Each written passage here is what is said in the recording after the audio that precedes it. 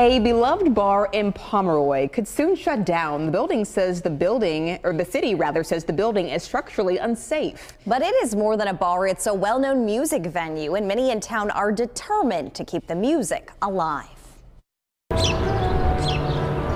In Pomeroy, Iowa, sits a hidden gem where music meets color. Color and love.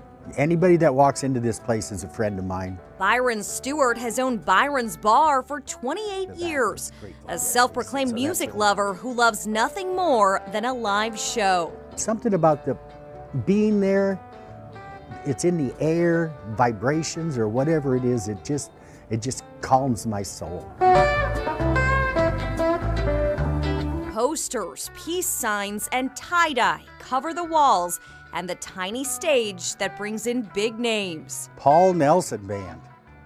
Unbelievable. He played with Johnny Winters and he just loves this place. He just he plays twice a year here. Byron's Bar has built an impressive national following, drawing hundreds of live performances over the years. People hear about me on the road and they call me up and say, "We got this date open, can we play there?" 73 live shows last year drew thousands of people, all with the same love of a live concert. It's magic. Byron's is a place where community and music meet and they had this child and it's called Byron. While it's magic on the inside, Byron's Bar is attached to a building that is falling apart on the outside. All the small towns now are worried about their buildings collapsing and they're going to be liable for them if anybody gets hit. Built in 1893, the walls are crumbling.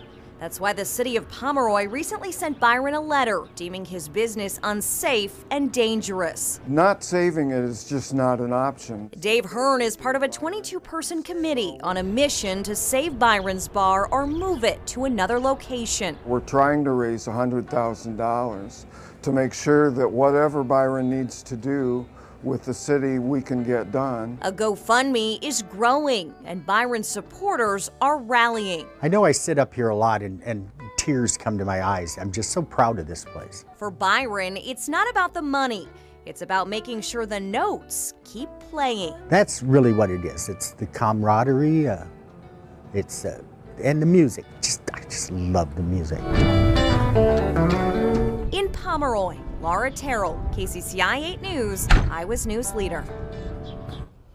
And Byron has until April 9th to fix the building or buy another location. His supporters have organized a benefit concert on March 3rd at Phillips Auditorium in Fort Dodge.